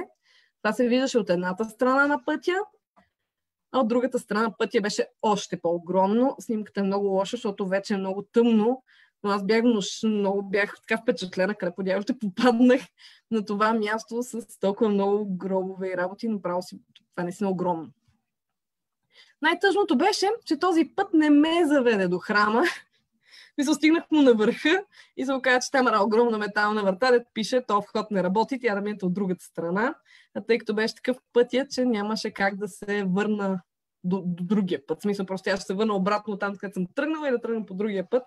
И просто нямаше храма вече да е отворен като стигна, но смятам, че това пък беше нещо интересно, което не всеки път може да се види, най-малко, защото не, не ходиш да го търсиш целенасочено. Но пък успях да се разходя малко и стария град на Киото, старата част покрай тези големи храмове и снимах някои много красиви неща. Красиви улички. Това е една много красива пагода. Аз много си изкефих, като я видях, защото знаех за нея. Това е едно мое кирие, което съм рязала по нали, кирие на, на, японски художник. Ме много беше харесало, изрязала съм го и се оказа, че това е точно тази пагода. Даже тук, ако загледате вляво кръглото прозорче, тук може да го видите къде е точно това прозорче. И аз бях, окей, добре, знам го вече къде е това. Не съм се излъгала. Намерих го реалното място, така че бях много доволна. Ето е по-близо от тази пагода. Тази пагода се казва, нали, храма се казва Хоканджи. Не можах да вляза вътре, но съм го снимала и през деня. Но и през нощта беше много красиво и внушително. Случайно, на другата сутрин, разхождайки се близо там в района, в който живеех, попаднах на един парк и реших да мина през парка, вървейки към където съм тръгнала. И се оказа, че в средата на този парк намерих друг много красив храм. Изобщо не бях мислила да ходя на там. Обаче, като го видях, нали, такова голямо и виждах, че някой случайен човек влиза вътре и викам, окей, тук съм, ще го разгледам. Изобщо не съжалявам, това е храма Кенинджи, който се, той, той е храмов комплекс. Никой храм не е просто един храм, те са цели огромни комплекси с много части. Успях да направя много снимки вътре. И то, Киото, между другото, ще е повече снимки, отколкото говорене.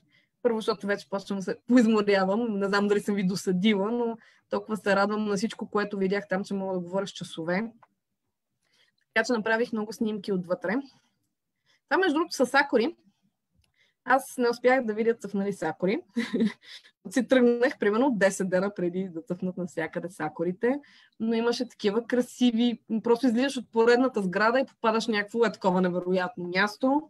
Градини, зали, татамита и всичко останало. Просто, просто вървях и снимах през цялото време, защото беше невероятно. Тук имаш такива градини с пясък, такива дзен градинки, които не знам как се правят без да ги развалиш, без да никъде се вижда стъпка, нали, те дълги гребла, ама чак пък толкова дълги, направо не знам, нямах удоволствието да видя как някой прави такова, но пък се радвах на това, което са направили.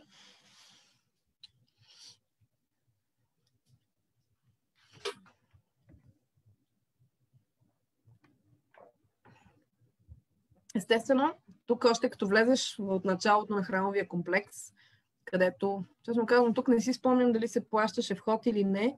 За този предишния храм, който беше златния, за да влезеш се плащаше вход, но това беше нещо много символично. Примерно, мисля, че беше към 400-500 йени, което е 4-5 долара или 8 лева, което за този огромен парк и всичко е нищо. Тук специално не си спомням дали плати вход, но още там в началото си събуваш обувките и ходиш бос на едно място, където се слизаше от дървените части на храма, имаше хиляди чехли оставени, така че можеш да обуеш чехли от единия край до другия край, за да минеш и после пак събуваш чехлите и продължаваш бос. Това не бях сигурна дали е Кирие или не. Мисля, че е, но е много красиво, сигурно се. И храма, нали, всичките тези пътечки и сградички те водят към централната сграда, която влизаш и виждаш такъв ултар голям. И в следващия момент виждаш, вдигаш поглед нагоре и виждаш нещо огромно и много внушително. Това са ни два дракона, изрисувани от местен японски художник и са нарисува, завършени са през 2002 година. Малко информация, защото е много интересно това. А, когато е било 800-та годишнина на този храм, художника две години е работил по тази творба, за да я направи 2002 година да е готова за годишнията. Тази творба е с размери 11,4 на 15,7 метра, което е точно размера на 108 татамита едно до друго, защото те си такъв някакъв стандартен размер. И това е рисувано в физкултурния салон на местно, не, на училище в някои от другите градове. И там на земята, на едни огромни листове хартия, го е рисувало това и когато е било завършено, са го монтирали на този таван. И това си беше абсолютно, аз бях, нали, не знам колко изглежда внушително на снимката, но когато си там отдолу и го гледаш това огромно нещо, беше изключително впечатляващо. Минах и по известната уличка на гейшите, която беше изключително скучна. Нямаше гейши, намерих много интересни там музеи на гейшата, места, на които всеки ден има представления с гейши, там някакви други обличане, нали, да те облекат като гейша, те гримират като гейша, всякакви такива интересни неща, които бяха така затворени. Но аз направих една снимка на тази уличка, защото нали, за сравнение си мислех следващия път, като дойдех, ще снимам пълно, нали, ще гледам какво е било. Снимах още ни три много хубави японки. Този път се престраших и директно си им казах, мога ли да ви снимам? Те бяха много доволни, естествено. И ги снимах. Това е още един храм, който намерих случайно. Аз продължавам да се опитвам да стигна до uh, Киомизодера, нали? но по пътя се виждам какво ли още не е интересно. И това е храма на Гион, uh, който се казва Ясака, или по-известен като Гион Шрайн, нали? храма на Гион. Той е много красив, с много пак сгради вътре. И е известен, защото там юли месец се провежда празника Гион Мацури, Мацури е думата, която се за празник и вече нали, как зависи. Нали, Хина Мацури е празника там на момичетата, Гион Мацури е празника на Гион. И аз потърсих малко информация за него и се оказа, че се провежда от над хиляда години. Вероятно не е бил един и същи през тези хиляда години, но такива традиции са много сериозни. Това, което виждате в момента с трите реда фенери, е сцената, на която се представят там разните му събития по време на това Мацури. Има музиканти с барабани, тези големите японските барабани тайко, има танцуващи гейши, всякакви представления на тази сцена. Тя също е доста известна, но аз изобщо не знаех, че това е там. Нали? Виждала съм го на картинки, виждала съм го рязано на кириета включително. Изведнъж опа и попадам на него и бях окей, виж какви интересни неща могат да се намерят, докато се разхожда случайно. Извинявайте. Вече почвам малко да пресипвам. А, а, ужас. А, това беше много, много интересни, многото интересни места, което намерих. А, това беше много малко и много скрито. И беше много пълно с хора. И добре, че бях тия хора, че да видя, нали, че нещо се случва там. Защото е един малък вход и нали, ограда висока. И се влиза в това вътрешно дворче. И вътре беше пълно с хора. И, нали, това е централна сграда, малко отпред нещо. И навсякъде беше пълно след такива. Това са цветни платнени топчета, на които е написано нещо. Бяха адски много и самите хора, които бяха там, връзваха такива неща и си отиват. Нали, снимат се, правят си селфи, връзват такова нещо и си отиват. Това ми беше изключително странно. Какво е това? И не можаха да ми го обяснят много и моите познати в Япония. Но проверявайки сега за, пред, за тази, това пътешествие днес, проверявайки имената на храмовете, за да не объркам нещо, случайно намерих това нещо на картата и видях как се казва. Това е Конгоджи Темпъл. А, а тези топчета се казват Кукуризаро. А, те представляват, всъщност, символизират маймуна, на която ръцете и краката й са вързани заедно. Все едно, това е една маймунка, която се свила такава на топка, но няма глава, но е просто плаче, вързано с четирите края. И идеята на това нещо е, че маймуната е символ на такивата игривостта на хората и тяхното нали, непокорство и да техните такива желания, някакви, да, не желания, просто да, desires беше написано, но а, някакви такива неконтролируеми, примерно се разсейваш или да се бави за някакви неща. И хората, които отиват там, пишат нещо, някакво желание на това топче, пишат желанието, което, някаква цел, за която се борят и връзват това топче там и това топче се едно те връзват своята маймуна там, да не, ги, да не се разсейват, да не си губят фокуса от това нещо и се надяват нали, по този начин да им се сбъдне по-лесно тая цел, която са си поставили. За мен беше много интересно, защото наистина бяха адски много, бяха тонове такива работи. Пак така, ходи си по уличката и изведнъж попадаш на някакво такова мега шантово интересно място. Ето го същия храм през деня. Това е, вече стигнах най-накрая, успях да стигна до Кинкакоджи. Това е от входа му надолу. Той е наистина на върха на старата част на Киото. Там е входа. Той е пак много стар храм. Предполага се, че е повече от хиляда годишен. Там явно, това е, глупости казах Кинкакоджи, Киомизодера е това. Това е цялата карта на комплекса който пак има много интересни постройки. Там като цяло всяко нещо си има някаква функция. Има си място да си измиеш ръцете, има място да се молиш на един бог, на друг бог, различни ритуали. За съжаление, аз не можах да навляза много навътре в тази тематика, защото като обикаляш сам, не успяваш най-често да навлезеш тия работи. Но пък успяваш да ги видиш. Това е самия храм Ким Изодера. Той е един от най-старите храмове всъщност там. И те така са ги строили на такива дървени основи, за да изравнят нали, терена. Това беше едно място, където хората пият вода и си мечтаят, желаят някакви неща. Пак храмът, отдалече. Първо минах отдалече после се качих на самия него. Тази пагода също, колкото разбрах, е много известна. Тук обърнете внимание на тази снимка. Това са едни пак мостове, по които ходиш да, да стигнеш до там. Но дясно виждате терасата, от която снимат хората. Тази снимка е правена от тази самата тераса. И всъщност, когато се върнах в България след пътуването, си спомних за едно кирие, което бях почнала да режа, обаче ми беше много досадно, защото е много дребно и много цъкаво и го бях зарязала, си да го довърша някога. И се оказа, че това кирие е точно изглед от тази тераса на този храм, същите заоблинки неща по перваза и бях, окей, това се довършва веднага.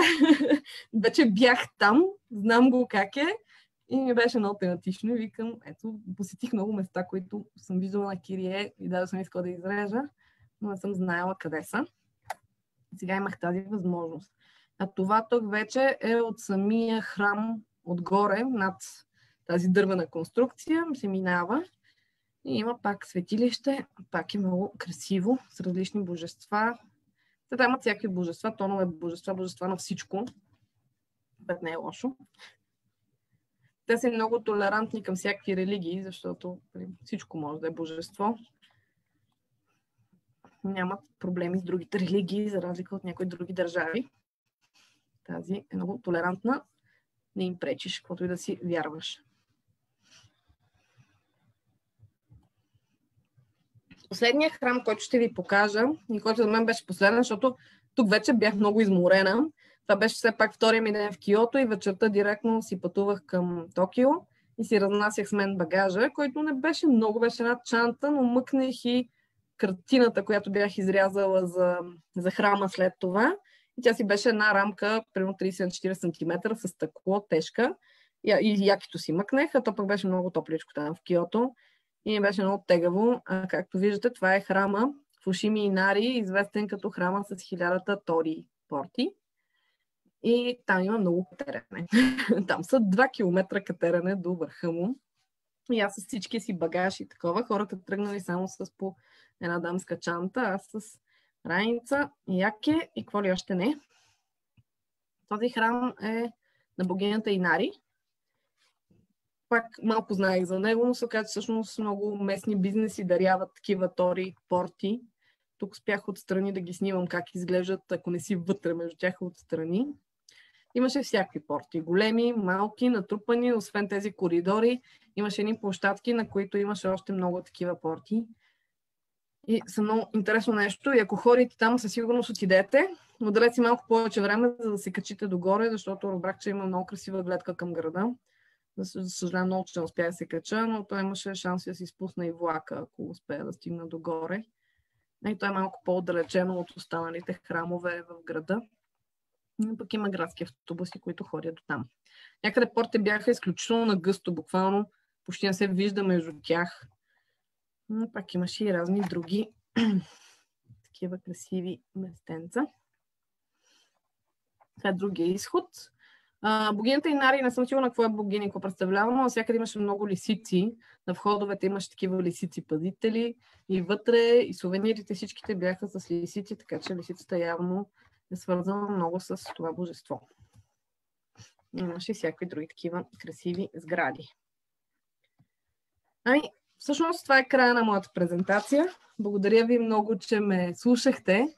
Надявам се да ви беше интересно. Сега е момента, може би, да задам въпроса. Сега аз само пак ще се намеся а, в, в така важния момент. Първо с искрени благодарности. Ти ще видиш след това как всички а, ти благодарят от сърце за а, интересния, за много увлекателния разказ и как ни пренесе наистина в Япония и то по различен ъгъл и с, с различни очи, защото ето и ние сме били, но тези неща, не, някои от тях не сме ги видели. И да, сигурно... Трябва си много деталите да ловиш между другото и всичките имена, сигурно до някъде си ги записал, но като цяло Ева, че ги запомнила изобщо в много, в много детайли. Браво, браво, Ани. Неща. Браво, прекрасно. Да. Много неща не казах и много от думите на моменти ги забравих, но...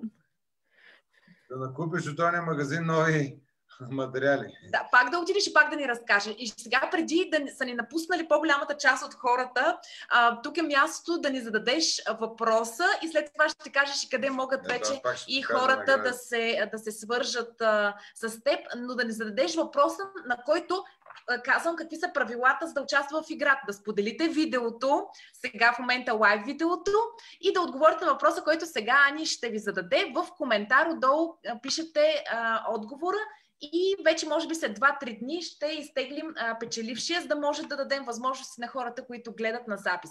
Ани, твой ред. Какъв е въпросът?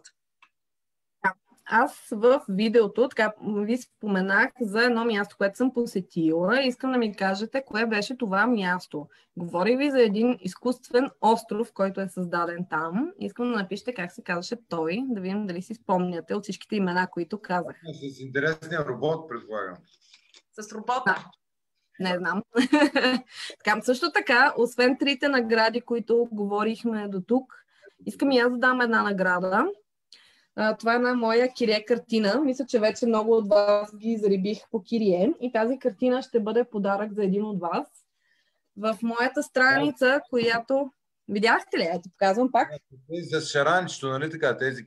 А, с това кой шаранче. В моята страница, която видяхте, аз ще напишем, ще напишем и в ивента, коя е, как се казва тя. Мисля, че беше шерната и преди това.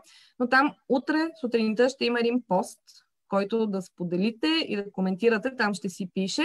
И един от вас, примерно сряда, ще спечели тази картина и аз ще му я изпратя с благодарност. И в заключение, аз преди да ви оставя, искам благодаря на всички 1500 човека, които все още с нас и ни гледат да ви кажа, че за мен наистина това беше мечта, която се сбъдна, от много години го мечтаех. Много съжалявах, че не можах да отида там с годеника ми, който просто през цялото време исках да му покажа това и онова. Но установих, че всъщност това не ми помогна да ми мине желанието, а даже напротив, сега искам още повече да отида. И вече от една година само се мъчи и се чуя как пак да отида, за да видя всичките други интересни неща, които не можах да видя предния път. Не можах да видя сакури, не можах да видя много музеи, но има това, това е една много малка частица. Аз не мисля, че някой може да обиколи всичко изобщо в Япония и да разгледа.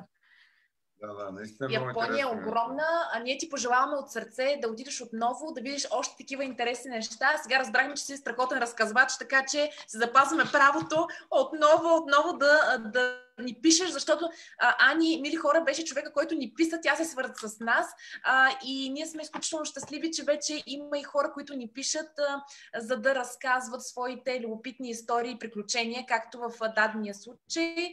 А, пишете, виждам, че вече почвате лека по лека да пишете. Пишете ни за изкуственият остров, който е посетила Ани, за да спечелите а, някой от тези подаръци.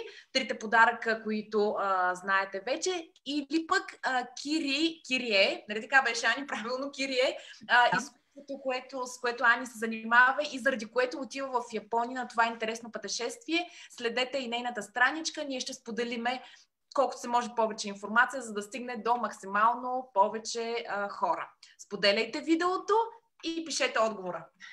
Това е от нас. Благодаря ви. Благодаря, благодаря много. И очаквайте следващото събитие да видите сега къде е. След малко ще го публикуваме. Изненада, изненада, къде ще се отведем следващия, къде ще отидем следващата, следващата седмица. Между другото, на нас ни е мечта да отидем там, така че ние ще се надяваме да, да за следващото говорим. За следващото. Аз малко за да предизвикам съспенс. Да, Интерес. Да. В Япония също с удоволствие ние пак бихме се върнали, Ани, така че на теб пожелаваме и на нашите зрители и на нас. да отидат и на нас и, и на нас си пожелаваме да отидем, защото наистина много неща и, и много бързо се променя между другото Япония. А, ако се отише при 5 години, примерно след 2-3, пак ще е тотално, ай, тотално не, но много по-различна и ще е много по-интересна. Аз бях там 2013 година, имам чувството, че вече е тотално различна. А, той е бил 2019, 2019 ето 2020. Ти 2020 по друг начин ще го видя, другия път да отидеш по-на спокойствие и, и за сакурите също да мога да видиш и цъфтежа, защото това също е много незабравим момент. Това е от нас. Прекрасна вечер. Да, Вечер вечер на всички. Да готвя челещата. Трябва, няма да се... Айде, Чао, лека. Чао.